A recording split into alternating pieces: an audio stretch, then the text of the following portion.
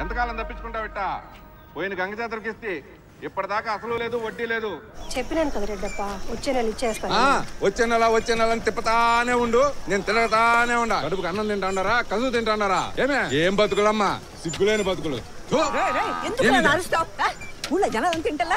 వినాలనే అట్టన్న సిగ్గు వచ్చిన రబ్బర్తానని రే మొగుడు నేను ఆడదురా ఎందుకు అలా మాట్లాడతావు? మొగుడు లేకపోతే ఏమే?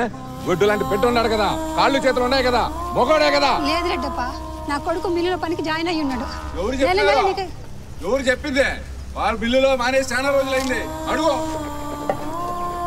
ఏరా పుష్ప రెడ్డప్ప చెప్పేది నిజమేనా? మిల్లులో పనికి పని మానేసిండవా? ఏ రా ఇంకెట్రా బతికేది?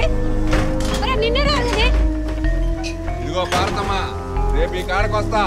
అనాకాశంతో కదా కట్టకపోతే నిలేస్తా ఇంటి మీదకి ఎక్కరస్తా. ఏమనుకుంటున్నావు తాగవే తాగు.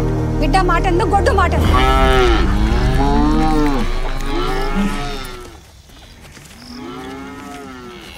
అసలు మూడు వేలు వడ్డీ మూడు వేల ఆరు వందలు మొత్తం ఆరు వేల ఆరు వందలు సరిపోయింది పుష్ప ఈ లెక్క సరిపోయినా సరే మొన్న లెక్క ఏ లెక్క మేము అప్పు చేసినామని ఊరంతా తెలిసినది అప్పుడు తీసినామని ఊరంతా తెలియద్దా ఓ అంతే కదా గుర్రప్ప వెంకటాద్రి పుష్ప డబ్బు ఇచ్చేసినాడు ఉండదు నా దగ్గర దో నిన్న రేషన్ కార్డు అందరి మంది ఉన్నారు కదా మరి ఊళ్ళందరికీ ఎవరు చెప్పేది ఏమంటావు నువ్వు కోట బుక్కితే ఎవరెవరు ఉండరు రాడా నిన్న మొత్తం నూట ఇరవై మంది ఉన్నారు పాకాల రవే.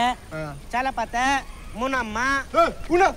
ఏంది ఇప్పుడు వీళ్ళందరికి పోయి చెప్పాను నేను ఏది చెప్పేది?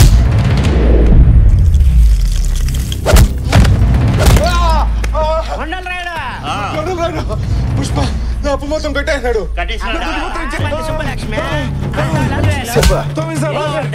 పుష్ప దుడి మొత్తం కట్టేసినాడు మొత్తం ఇచ్చేసినాడు